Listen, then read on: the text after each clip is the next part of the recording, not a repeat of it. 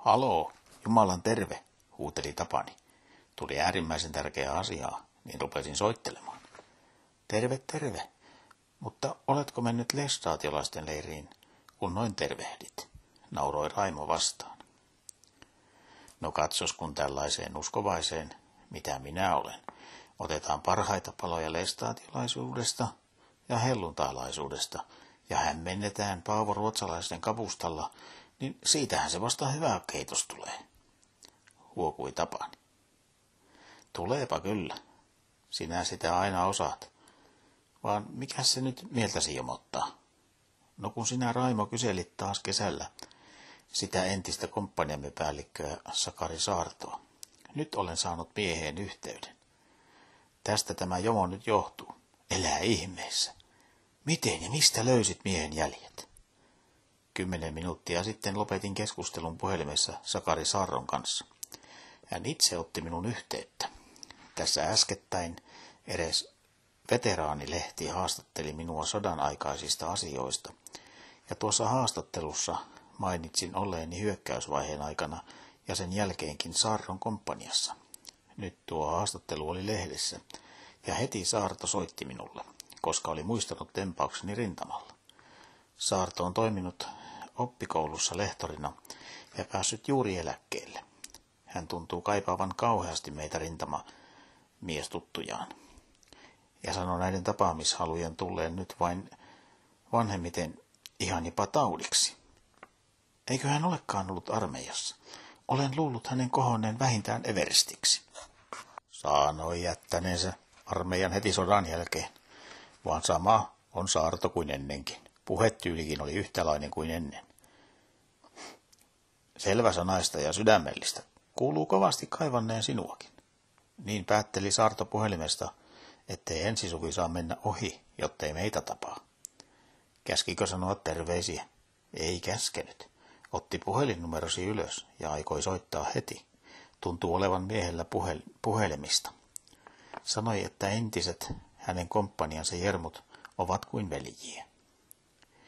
Varaudut puhumaan puoli tuntia, kunhan puhelu tulee.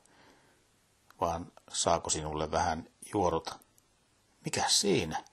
Jollet vaan ketään vikoile. En totisesti, vaan päinvastoin. Muistathan lahjakyllikki Olkkosen, jonka tapasit täällä viime kesänä Jukan ja Kirstin häissä. Äitinsä kanssa hän on täällä ja keskustelit rouvinesi heidän kanssaan. Tuota keskustelua en unohda koskaan. Anna Olkkonen on edelleen siinä uskossa, että olen joku hyvän tekijä hänelle, joten muistan toki lahjan. Mutta entä sitten? Jäikö mieleesi myöskin se tuntematon tumma ja harteikas nuorukainen, joka harkitusti ja hillitysti puheli ihmisten kanssa, ja myöskin sinun kanssasi? Jäipä kuin jäikin. Kyllä hänkin mieleeni jäi. Oppineelta vaikuttava tyyppi, mutta nöyrä ja yksinkertainen. Sen vaan muistan, että hänellä oli kasvot aivan kuin Sakari Saarella. Eihän vaan. Aiotko sanoa, että Sakari Saaron poika? Jos aiot, niin olet oikeassa. Niiden uskovaisten laulajien mukana hän tuli kesällä Jukan häihin. Hänen henkilöllisyytensä selvisi tuossa äsken, kun puhelin maisterin isän kanssa. Kuulin jo hänen nimensä kesällä, ja sen kuultuani jäin miettimään, että onkohan hän Sakari Saarron poika. Pertiksi isänsä häntä kutsui ja puhui pitkät latikat pojastaan. Pitää kai hänestä äärettömästi, koska on ainoa lapsi perheessä. Poika on kai samantapainen kuin tuo meidän Jukka. Kertoo kaiken isälleen.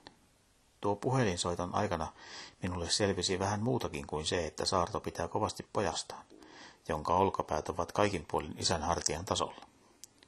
Mikä se sitten tuo muu on? uteli Raimo. No sitä vaan, että tuskinpa lahja Olkkonen yksinäisenä kuolee. Vaikka kantensa valitsee. Elää nyt ihmeessä, ryki Raimo puhelimeen. Tämähän olisi vasta merkillinen nivoutumista. Joo, sano, sano minun sanoneeni, että näin käy, kun ennustan. Vaan kun tämä nyt on tällaista miesten kesken liikuttavaa ennakkotietoa, niin vaali juttua visusti tietonasi, kun seuraavan päivän tunnussanaa rintamalla. Ja nyt, kun olen juttuni kertonut, lopetan tämän latikoimisen. Terveisiä rouvallesi ja kiirehtikää Ilonan kanssa pian meillä käymään. Turistaan sitten taas lisää. Sieltä ollaan käyntivuorossa, huomautti Raimo. Tervetuloa. Juuri kun miehet olivat saaneet hyvän yön toivotuksensa sanotuksi ja puhelu oli loppunut, tuli Ilona taas toimistoon. Hymy suupielissään hän kantaa kiikutti Raimolle jotain paperia ja sanoi. Suuri tilaisuutemme on tullut. Posti toi päivällä esittelylehtisen, jossa meille tarjotaan kutomakoneita myytäväksi. Tässä sanotaan, että kunnon liikemies tarttuu kiinni tehtyyn tilaisuuteen kuin tu- tuli tervakseen. Myyntiprosentti on valtava. Joko aletaan? Kyllä Raimo ymmärsi jo Ilonan äänestä, ettei tämä suinkaan ollut tosissaan. Raimo otti kuitenkin lehtisen käteensä ja vilkaisi sitä pintapuolisesti. Mitä tuota tyhjää, hän sanoi. Eivät nämä koneet tyhjää ole, intti Ilona. Parasta terästä laadultaan, niin väitetään. Eiköhän vain tilata muutamia. Raimon ajatukset liikkuivat vielä äskeisessä keskustelussa. Hajamielisenä hän sanoi, ei, ei, ei me ryhdytä myymään mitään elintarvikeliikkeessä. Mutta jos sinä alat kutoa, niin ostetaan sinulle kone.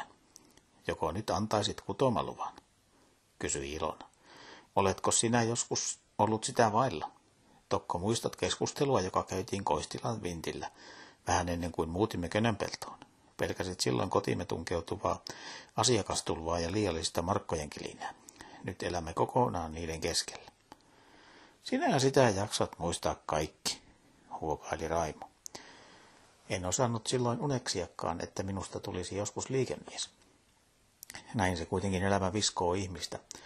Voi voi, silloin Jussikin oli vielä pieni. Nyt hän raahaa humalaisia putkaan leipätöinään. Ollappa nuo nyt päivät vielä. Sanon nyt hyvä mies, antaisitko minun ostaa itselleni kutomakoneen ja ryhtyä tienaamaan rahaa, vitsaili Ilona. Elää nyt vaivaa minua enää ostamisen ja myymisen pohtimisella, pyysi Raimo. Heitä mieluummin joitakin pilkkeitä saunan uuniin, niin kylvetään ja kiitetään taivaan Jumalaa siitä, että ollaan kuitenkin uskossa kaiken tämän kilinen ja kolinen ja rohinan keskellä. Taas rämähti puhelin. Tuo puhelinsoitto ei kuitenkaan koskenut liikeasioita, vaan kävi niin kuin Tapani Kinnunen oli äsken ennustanut. Ajokoiran tapaan nuuski sotaveteraanimajuri Sakari Saarto entisen rintamatoverinsa jälkiä.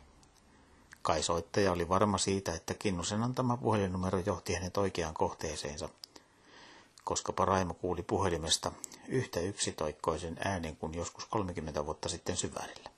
Täällä Saarto yksi. Kuuleeko Lippo? Kuuleeko? Lippo kuulee, kuuntelen. Hoikkanen kuulokkeessa kuuntelen. Radiopuhelinkieli muuttui yhtäkkiä sydämelliseksi tervehdykseksi.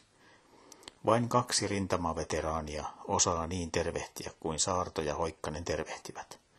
Puhelu kesti 20 minuuttia ja sen aikana sovittiin tapaamisesta kevätkorvalla Hoikkasen huvilalla ja savusaunassa. Muutenkin Raimo pääsi tietämään ne samat asiat, mitkä äsken Kinnunen, paitsi että Saarto myönsi poikansa olevan päätään pitempi isänsä historian ja suomen kielen lehtorina. Mutta Raimo Hoikkanen, Hoikkasen päivä ei päättynyt vieläkään ilman yhtä puhelinsoittoa. Merkillisintä asiassa oli se, että tuo viimeinkin puhelinsoitto oli entiseltä rintamamieheltä. Sakari Törmälä soitti kertoen juuri tulleensa Helsingistä. Törmälä esitti käyntiä Raimo Hoikkasen luona kertovan, kertoen olevan asiaa, jota ei voinut esittää puhelimessa. Luonnollisesti Hoikkanen lausui Törmälän tervetulleeksi heti, kun tälle vain sopisi tulla. Istuessaan myöhemmin illalla saunan rauhoittavassa löylyssä Raimo Hoikkanen ihmetteli suuresti sitä, että Jumala näytti tahtovan vakaasti punoa jotkut entiset rintamatutut samaan köyteen vaikuttamaan toinen toistensa kohtaloihin. Hänkin oli yksi säijä tässä köydessä. Raimo Hoikkanen muisti selvääkin selvemmin sen illan, jolloin tuo viimeinen soittaja Sakari Törmällä oli pitänyt iltahartautta lipossa. Tuolta nyt jo tutuksi tulleelta mieheltä hän oli saanut tärkeän vihjeen ryhtyessään kirjoittamaan kirjettä Anna Olkkoselle. Tuo syvärin kirje kuului yhä olevan Anna Olkkosen huostassa. Joulun edellä vapaapäivänään törmällä ajoi Raimo Hoikkasen luo. Toimistossa ryhdyttiin miesten välillä pohtimaan asiaa, joka jälleen johti heidän ajatuksensa vuosikymmenien taas syvärille. Rauhallisena ja hiljaisella äänellä ryhtyi törmällä asiaansa esittämään. Näyttää siltä, että vuosikymmenien takainen sota-aika jätti sellaisia vammoja ihmisten sieluihin, että niissä riittää yhä töitä sielunhoitajalle. Menin äskettäin Helsinkiin erään seurakunnan järjestämille katulähetyspäiville.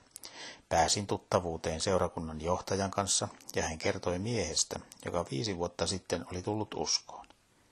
Tämä poloinen oli ollut aivan veneen alusta miehiä, mutta oli kokenut valtavan elämänmuutoksen. Seurakunnassa ei kuulemma ole ketään muuta, joka niin hanakasti osallistui katulähetystyöhön syvälle synnin syöväreihin vajonneiden nostamiseksi kuin tämä mies.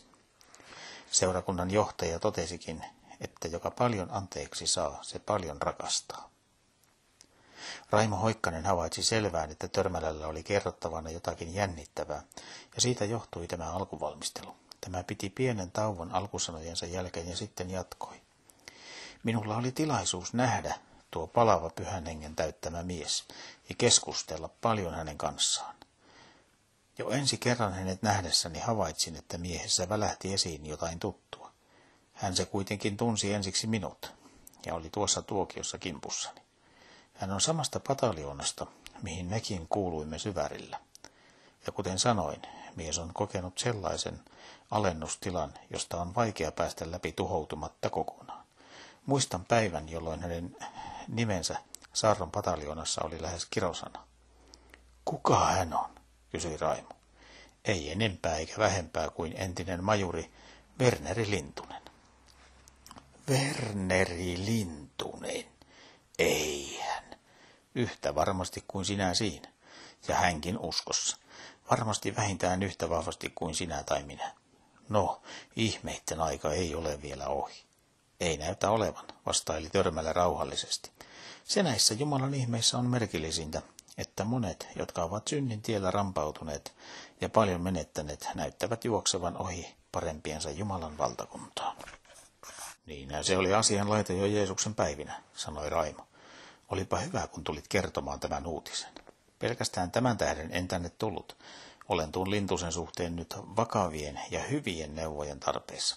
Asiani koskee uskon sisartamme Anna Olkkosta. Ehkäpä aavistat, mistä on kysymys. Taidanpa tosiaan jotain aavistaa.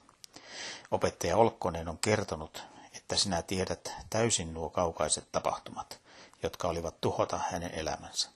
Werneri Lintunen muistaa nyt nuo pahat tekonsa ja katuu niitä. Hän otti tarkoin selville, tiedätkö mitään Anna Olkkosesta.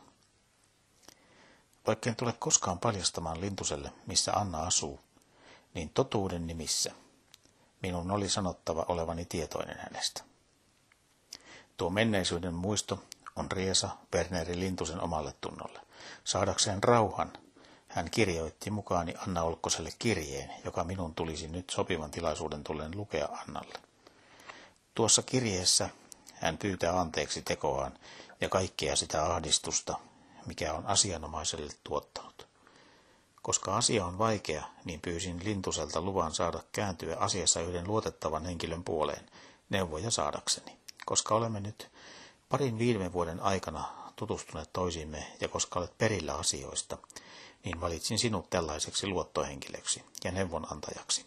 Vaikeinta tässä asiassa on se, että Annan sisimmän ar- arpeutuneet haavat voivat revähtää uudelleen auki.